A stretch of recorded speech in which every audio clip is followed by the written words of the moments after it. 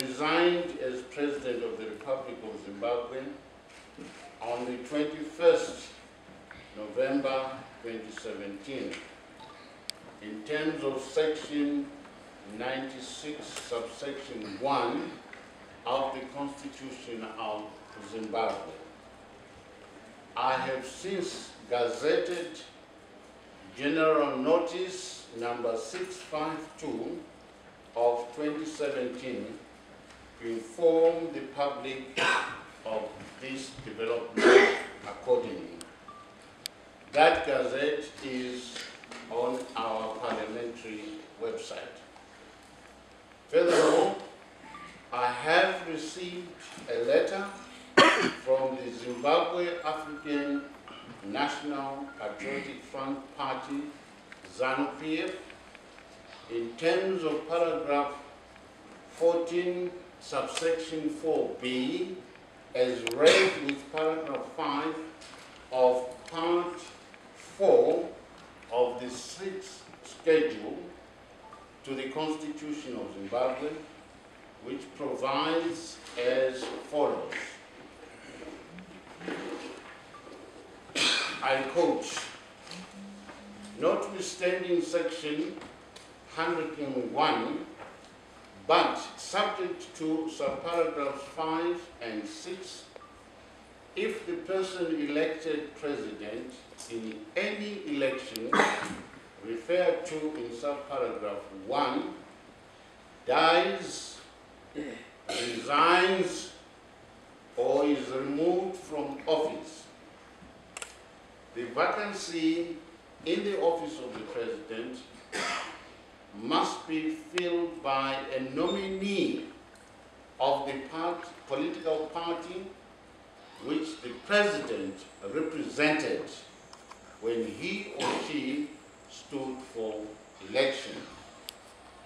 A political party which is entitled to nominate a person in terms of subparagraph 4b must notify the speaker of the nominee's name within 90 days after the vacancy occurred in the office of the president.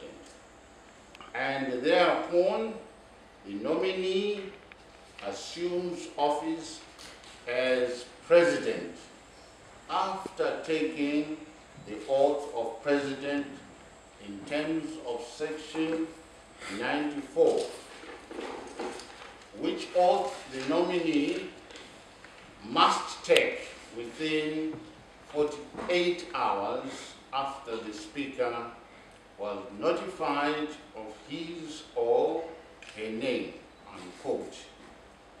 In the letter referred to above, ZANU-PF has notified me that the Central Committee of ZANU-PF met in a special session at the party headquarters in Harare on the 19th November 2017 and resolved that, and I quote, in the event that Comrade Robert Gabriel Mugabe resigned or was impeached, Comrade Emmerson Dambudzo Mnangagwa was appointed as Zimbabwe African National Union Patriotic Front, ZANU-PF's nominee to fill, to fill the vacancy in the office of the President of the Republic of Zimbabwe. In terms of Part 4 of the sixth schedule of the Constitution of Zimbabwe, Amendment number 20, paragraph 14, subsection 4b, as read with paragraph 5, unquote. Accordingly, Parliament has informed the Chief Secretary to the Office of the President and Cabinet of the nomination of Comrade Emmerson Dambudzo Mnangagwa as the nominee in order for him to make the necessary administrative arrangements for the taking of oath of President as provided for in section 94 as read with the third schedule of the Constitution of Zimbabwe. The Chief Secretary to the Office of the President and Cabinet, Dr. Sibanda, is making the necessary arrangements for the swearing in of the incoming President, Comrade E.D. Mnangagwa. I am advised that the swearing in uh, ceremony is planned for Friday, 24 November 2017.